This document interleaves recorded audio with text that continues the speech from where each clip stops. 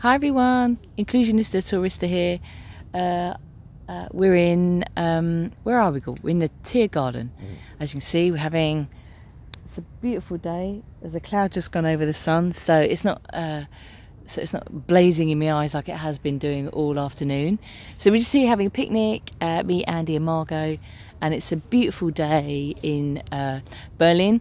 Uh, so today we tried to go to the nature park, uh, which is uh, down in the south of the city, uh, and it's like an overgrown railway track and water tower. We get um, into the park to discover that it's snow dogs, so we were evicted uh, promptly. So we decided to take our picnic and come to the Tiergarten instead.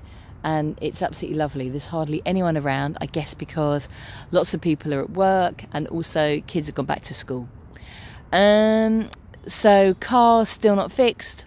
Uh, the drama continues. Probably gonna have to stay in Berlin for one more day um, uh, because they're having to do something fundamental like the drive shaft or the gearbox.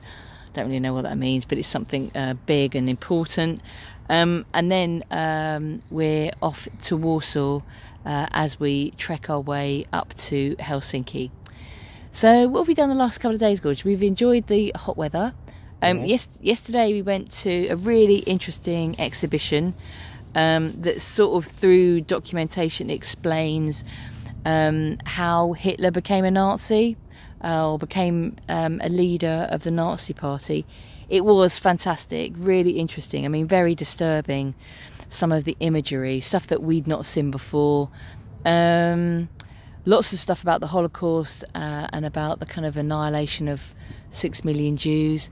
Um, I think what was disappointing for me as a disabled person um, was that there was no mention at all about the uh, annihilation of some half a million disabled people. No mention of the T4 program.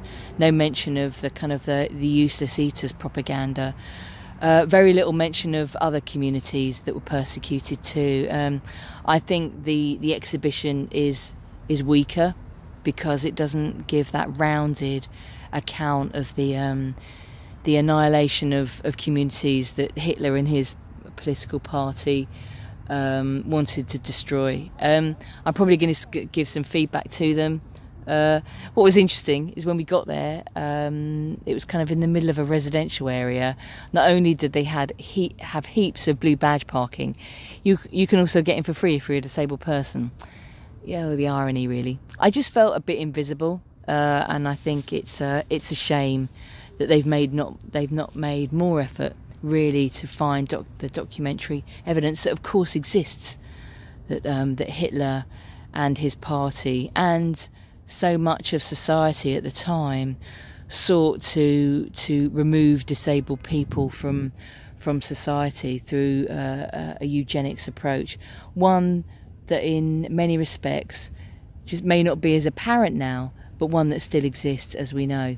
So um, it was fascinating and, and deeply disturbing, but um, I did feel sad that, that my community and the horror that they, they experienced all those years ago um, was just completely invisible from the exhibition. And I think, as I said before, it's weaker as a result. So, um, so that's it really. I just thought I'd tr- sort of get that out of my head uh, while I was thinking about it. Um, I haven't really worked out on YouTube how to